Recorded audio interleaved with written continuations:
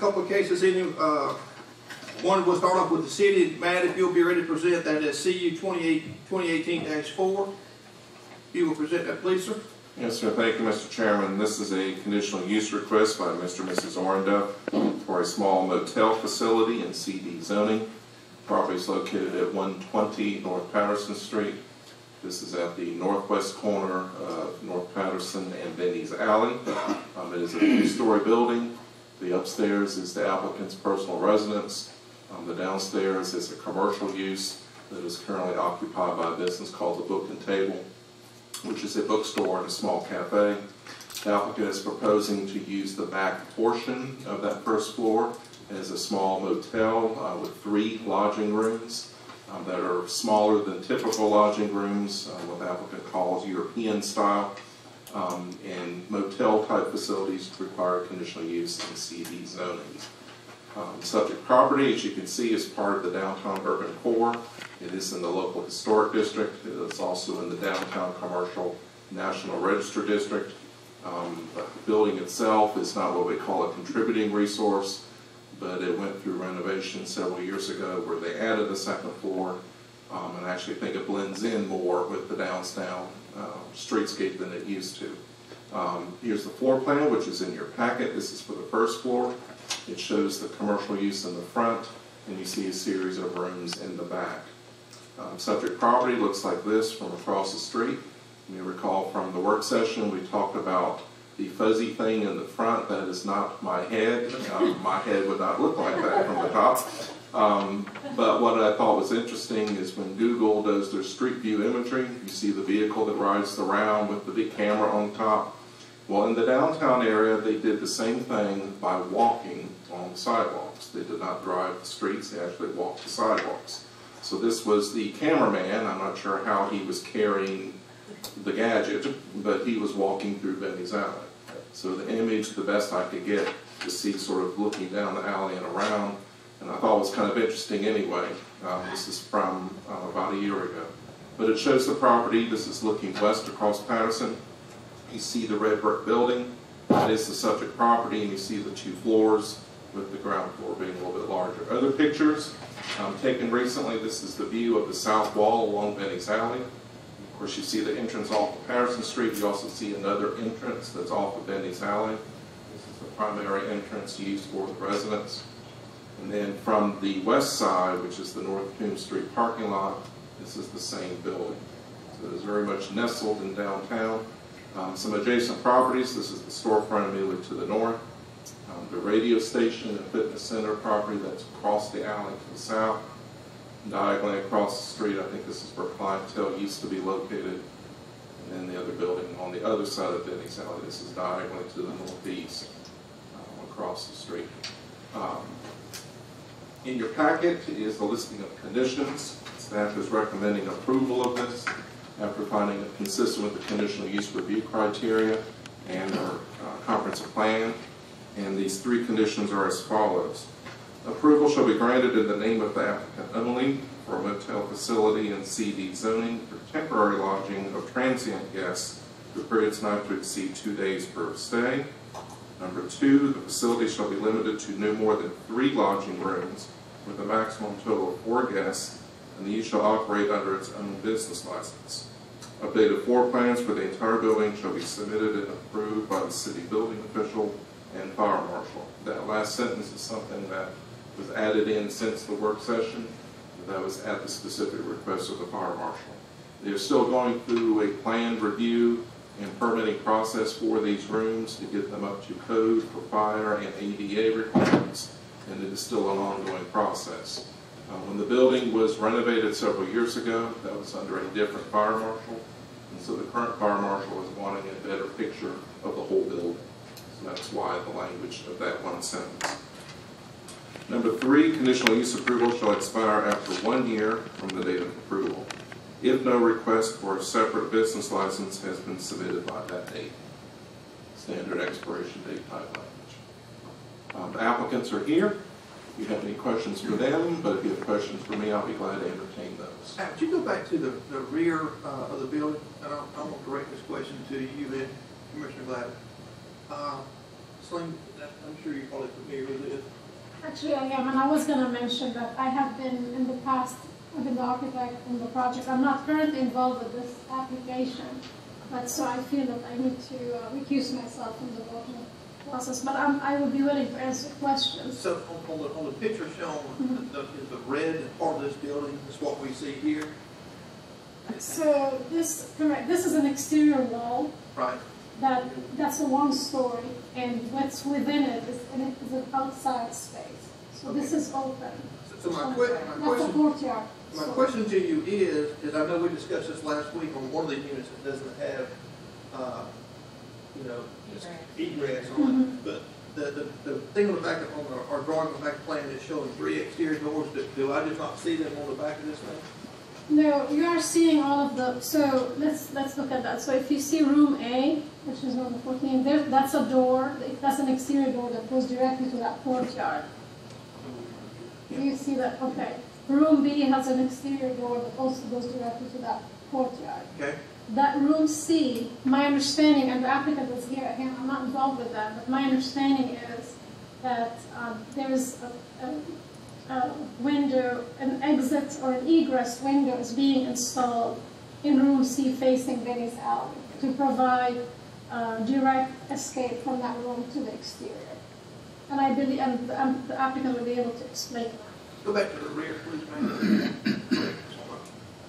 And so we're just not seeing the balance of the exterior doors in the rear? You can't see them in here Oh, because that's a that courtyard. exterior Okay, door is okay. actually, it opens to the courtyard. Gotcha. That's my question, just to clarify the egress on stuff. The courtyard is walled in instead of gated Okay. in or fenced in, so it's a little bit different. They have vegetation there. In fact, if you look at one of the pictures, see the, see the eucalyptus tree growing up Yes. through it? It's from within the courtyard. Good deal. Um, this shot, which is along Benny's Alley, you see the doorway in the middle along the alley. Yes, sir. And to the left of that is where the, the common wall is with room C. And they've already submitted designs, it got approved by the Historic Preservation Commission to put an escape window there. A very nice design, it looks like it has always been part of the building.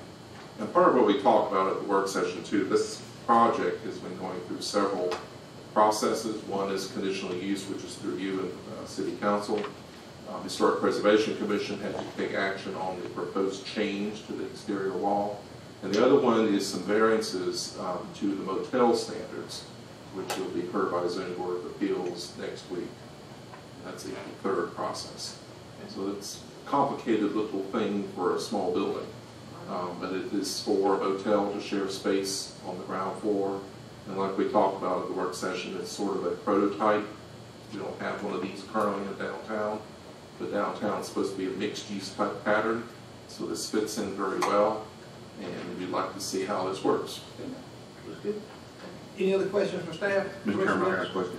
What's the reasoning behind two days stay? I mean, if you had a business person that wanted to come and stay there for a, It's to keep limits on it. There's been some concerns expressed about this becoming an extended stay, bordering onto a boarding house, that type of arrangement, which I really I can understand that, but two days? proposal, but a two-day transient stay. did, okay. I don't totally agree with that, but that's whatever. We'd like to extend that just a little bit. So. We, we discussed a little bit of that last week, between that and stay and the amount of people, only four people, we discussed that last week. Yeah. So, any other questions for staff? Still low. Still low. Yeah. There being none, anyone here tonight wishing to speak in favor of this request to come forward this time? Anyone wishing to speak in favor? Good evening, sir. If you don't mind stating your name and address for the record, sir? Yes, Jeff Michael lined up, one twenty North Patterson Street. Um, Is this, mi- is this microphone on? Hello, Is, it? I guess I can squat down like this. All right, I would have the same problem, sir, as always. that's okay, I'm used to it. Um, Mr. Chairman, members of the commission, thank you for allowing me to come before you, to speak briefly in favor of this. I want to start by thanking Matt Martin and all the staff at Planning and Zoning. Um, They've been very helpful at going through, as he said, what is a kind of complicated and un- unprecedented thing. We're grateful that they have recommended approval of the request. Um, The staff recommends three conditions. We have no uh, issue with the conditional approval subject to a separate business license, nor with providing updated architectural drawings to the city building and the, and the fire marshal. We do, however, want to request a, a change other two conditions that they're recommending. Um, First, let me say that we do not disagree with what we take to be the spirit of those other two. Um, Those other two conditions, we have no interest in running an apartment building or a boarding house. Uh, We don't want a VSU fraternity renting all three rooms for a weekend uh, with 20 partygoers. Um, But we do think that um, the temporary lodging of transient guests for a period not to exceed two days is a, is a bit um, too restrictive. Um, Let me just give you a couple of examples. We had an artist uh, who came and stayed with us, and he had, he was a photographer, and he had a show that he was mounting at the Turner Center. Uh, He lives in Atlanta somewhere. He came down one night, stayed with us that night. He went the next day to the Turner Center and spent all day mounting the show. Then he came back to us, slept the second night. I think that was a Sunday. The third was a, the third day was a Monday. Uh, the show was up, the, the reception, maybe some of you attended it, they do this, the first night the show was up, was that night, Monday night, so he didn't go back to Atlanta, he spent the night, went back the next day, so he was here for three days. Um, there are many cases of people who, who come and have that kind of situation. Uh, we had a gentleman that maybe some of you may know, his name is David Hobbs. He grew up here in town. His, he now lives uh, over on the coast, I think, in Brunswick. His mother is a resident at the uh, Langdale place. Uh, he came here to be with her. He was here for four nights because he wanted to spend more time with his mother. Fact of the matter is that the, that the two-day thing is not a big issue because the vast majority of our people are there for one night. Um, most of our customers are traveling down 75 to Florida or back from Florida. But we would like to have the flexibility for the kind of cases I just mentioned. And so we wouldn't mind having that restriction if there was some sort of a limit on it, like say, the two-day stays, that two- that stays over two days be limited to no more than ten percent of the total stays, or something like that. Or just a higher number. Just Just, just, just a higher number, yes. or a higher number, yeah. Um, The second one that, that one of you mentioned uh, was that the facility should be limited to no more than four guests. If we're approved for three rooms, um, it's going to be difficult. uh, The only way we could have four guests in some cases would be to simply not rent one of the rooms, which is uh, obviously not a good thing for us. We, we don't have any problem with the number of adults. We do get children. Uh, we get uh, couples traveling with children, so um, if a couple and a small child come here, and we've had many cases of that sort, and we had the three rooms, then that would mean that we could rent a second, one of the second rooms for one person only, and the third room would remain vacant. Um, and sometimes it's, I'll try to keep this short, sometimes it's difficult to know. We have a guest named Judy Wolf. She's from Atlanta, she's a physical therapist. She's stayed with us three times uh, prior to recently, one night each time. She leaves Atlanta, where she works, comes down here, arrives late at night, gets up in the morning and leaves. She's a perfect guest, no problems. you don't have to deal with her. She comes late, checks in, leaves in the morning, goes to SGMC, and works with special patients. She has a special kind of therapy, and then after she's gone, she goes home. So she's here one night. She showed up on Friday of last week again, and I thought it was the same deal. She showed up with her two kids, and she went and did therapy. Her mother, who lives around here, came and took care of the two kids, and then the next day they made a vacation of it. We didn't know she was bringing the two kids. Under this rule, we would have had to send her away, if the other, because the other room had two people in it. That's, we're not trying to, you know, I think the spirit of the thing is right, if we can just get the numbers a little different, we would be happy to bring our statistics from Airbnb, which is the, the site that we use to rent it, and, and let the staff look at those and, and work, work some sort of thing, but we don't want to get in a situation where we're forced not to rent a room because we need to, we need to make some income to pay for the investment in the room. All of the rest of this is, is very good, and we appreciate all the work that the staff has done and, and their help. We wouldn't have been able to negotiate this without them. Uh, It's probably old hat to you, but with us, and a lot of people out there going through this, it's, it's kind of complicated.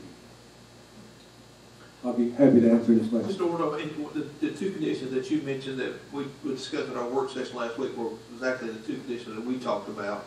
And I know Matt did speak up and say, you know, throw a number out there Right. too also, but on, the second part of it, what do you think is? are, are you looking for like two guests per room per night? Is that, would that be reasonable? I, I would think two adults per night. Uh, So if they bring a child. So if they bring a child, I mean, we've had couples with young children, you know, like toddlers that sleep in the bed with them. And, um, but I certainly wouldn't want more than two adults in each room. But if we had two adults in each room, uh, that's probably, as I say, most of the time, we have one or two people and it's for one night. So we're talking about the exception rather than. you have questions for the presenter? I, I'm- Commissioner Willis? Go ahead. I've got one. On, um, number one, the condition number one, as far as the time of stay. If you had to request, what would you request?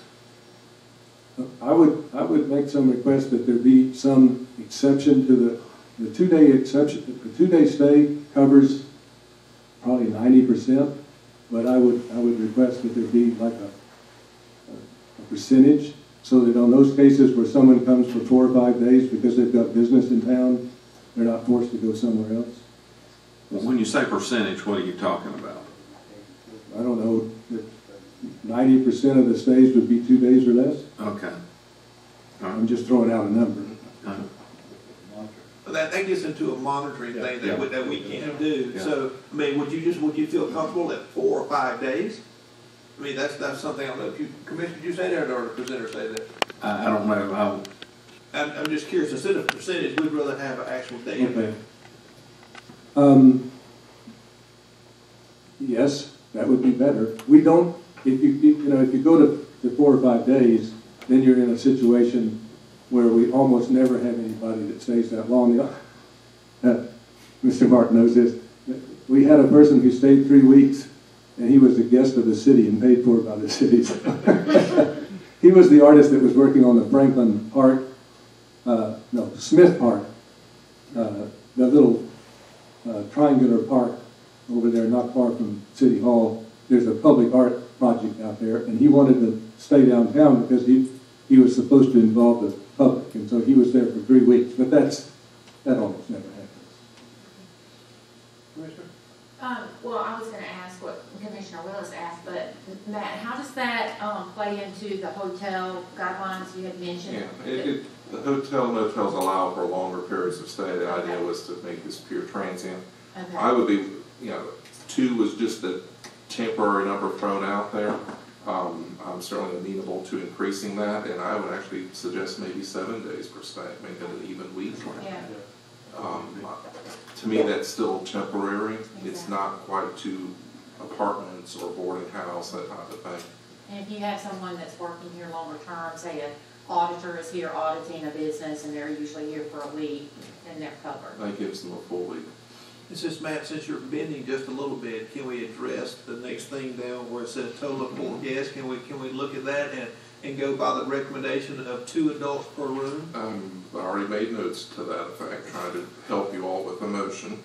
Um, number two could possibly read, the facility shall be limited to no more than three lodging rooms with a maximum total of, um, two adults per room. okay, is that, is that? Parentheses, um, not including children. Okay. Just so it's clear that we're not precluding children from staying. I don't want to do that. And, and to quite honestly, where that four came from is me looking at the floor plan. I've seen two very small rooms. I'm thinking one person. In the larger room, I'm thinking two people. Um, They, although this is European style and They sometimes are- they are people, cruise it's like cruise ship rooms. Sometimes you can get a lot of people in there. Mr. Orenduff, you, you, you've heard what Matt has had let us propose. I said, are you okay with these new Yes, sir. conditions, sir? Yes, sir, I am. So we're looking at seven days max per stay, two adults, not including children, per, Yes, sir. per visit. Yes, sir. Any other questions for our presenter? Thank you very much, sir. Thank you, sir. All right, is anyone here wishing to speak? Well, let me ask this, anyone else wishing to speak in favor of this request come forward? Anyone else wishing to speak in favor? There being none, any here, anyone here this evening wishing to speak against this request? Anyone wishing to speak against this request? There being none, commissioners, any discussion on this before I ask for a motion? There being no discussion, I'll ask for a motion at this time on this request. Mr. Chairman, Commissioner Willis, um, I'd like to make a motion, we recommend approval of the conditional use permit with the three conditions at the bottom with a correction on number one to say either one week, not to exceed one week or seven days. And number two, a maximum of two adults per room, in parentheses, not including children. And the last, which should be three, I think, instead of another number two, we'll leave it the same. okay, I see that, okay. Oh, yeah, yeah, that was a typo on the original. I wasn't gonna bring that up, but that's okay. I've already fixed it. Yes, sir. All right, so we have a motion. Do I have a second on this? I got a second on this. Any discussion before I ask for show of hands? Any discussion on the motion and the second? There being none, all in favor of the motion, please signify by raising your hand. That is six, all opposed, and she has stepped aside, so it's six zero, it passes, Ms. Deborah. Got. Who was the second on that motion? Jody. Oh, man, you did a great job on that. We appreciate you on that. We will proceed with land